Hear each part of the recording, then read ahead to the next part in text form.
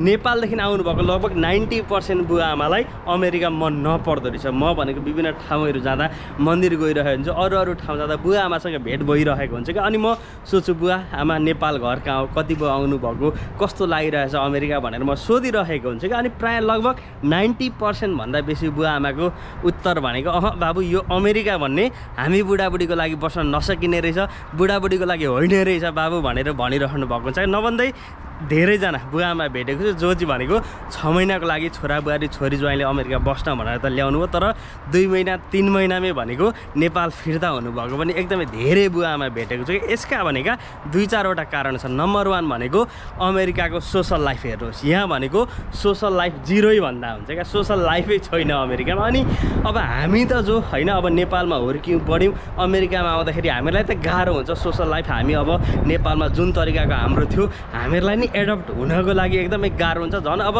बुवा आमा जो चाहिँ भनेको नेपालमै जन्मिनुभयो जिन्दगी होइन अब पचास साठी सत्तरी वर्ष नेपालमै बिताउनु भयो एउटा सोसल लाइफ होइन टक्क उठ्ने यताउता तल्लो घर माथि घर जाने बजार जाने तल्लो घर जाँदाखेरि पनि आउनु चिया खानु भन्छ। त्यो तरिकाले एउटा सोसल लाइफमा होइन उहाँहरूले जिन्दगी बिताइसके पछाडि अमेरिकामा आइसके पछाडि भनेको त यो घरभित्र चार देवालभन्दा बाहिर जाने ठाउँ छैन। तल्लो घर माथिल्लो घर चिनेको हुँदैन कहाँ जाने कसो गर्ने केही थाहा हुँदैन होइन।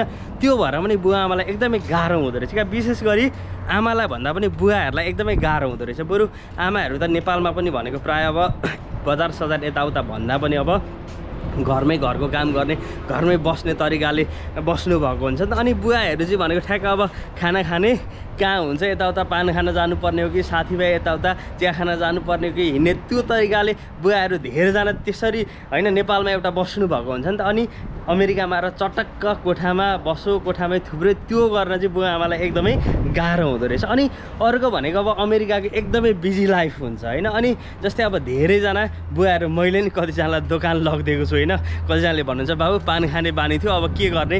कहाँ के छ? लगिदिनु न भनेर मैले नि कतिजना यहाँ होइन मैले नि चिनेका बुवा आमा पनि कतिजना आउनुभएको छ म लगिदिइरहेको हुन्छ। अनि अब बुवाहरू नेपालमा भनेको बाहिर जाने कसैको भनेको सिगरेट खाने बानी हुन्छ खैनी खाने पान गुटका खाने बानी हुन्छ बाहिर निस्को दोकानमा गयो किनो खायो त्यो तरिकाले बस्नुभएको हुन्छ नि त। तर अमेरिकामा भनेको पानहरू पाउँछ होइन? तर खुत्रुकै जाने खुत्रुकै अब सिगरेट किन्ने ठाउँ खैनी किन्ने ठाउँ त्यस्तो हुँदैन क्या। लगभग पन्ध्र बिस मिनट ड्राइभ गरेर जानुपर्ने हुन्छ। अनि बुढाबुढी अब त्यो पचास साठी वर्षसम्म खाएको बानी छ भने त त्यो त खाउँ खाउँ लाग्छ उहाँहरूलाई त। अनि तल तल अब नेपालमा चाहिँ भनेको जस्तै अब आफू यहाँ भनेको गाडी कुदाउँदैन भने अस्ति एकजना बुवा भेटेको थियो बाबु के गर्नु? अब गाडी नकुदाइसके पछाडि त खुट्टा भाँचे जस्तै रहेछ। हामीलाई त यहाँ त हिँड्न नि खुट्टै पुरै काटेर घरमा राखे जस्तो हुँदो रहेछ भन्नुहुन्थ्यो क्या। नभन्दै हो पनि क्या गाडी कुदाइँदैन भने यहाँ खुट्टा भाँचेकै जस्तो अनि उहाँहरूलाई अब जान ओर्ने यताउता समस्या हो नि त अब नेपालको जस्तो सफारी सफारी खुद्रुका चढेर जाउँ पब्लिक बसहरू जाउँ भन्ने टाइपको हुँदैन फेरि बुढाबुढी कहाँ जाने यहाँ? अब इङ्ग्लिस अब बुढाबुढी भन्ने बित्तिकै इङ्ग्लिस प्रायःलाई अब आउँदैन होइन? अनि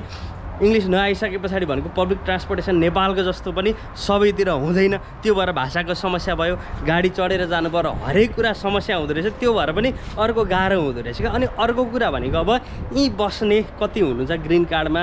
बस्नु जो चाहिँ भनेको छोरा बुहारी छोरी ज्वाइँले अब ग्रिन कार्डमा ल्याउनु भएको भनेर बस्ने बुढाबुढी पनि धेरै भेटेको छु। तर सबैको कुरा के छ भन्दाखेरि के गर्नु बाबु? अब ग्रिन कार्डमा छ बस्नै पऱ्यो नाति नातिना साना छन्। अब म जानु भने नाति नातिना करले हेर्ले कसले हेरिदिन्छ छोरी ज्वाइँको बिजोग हुन्छ छोरा बुहारीको बिजोग हुन्छ। म त यही नाति नातिनाले गएर बसेको छु नि के गर्नु?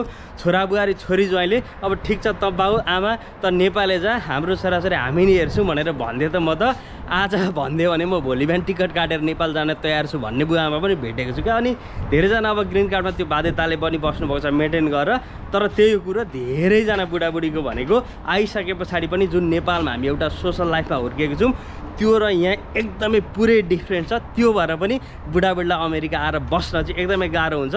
हामीलाई त हामी नेपालमा जन्मेका हुर्केला हामीलाई त एडप्ट हुन गाह्रो भनिसके पछाडि अब बुवा आमालाई झन् अभियसली गाह्रो हुने भइहाल्यो।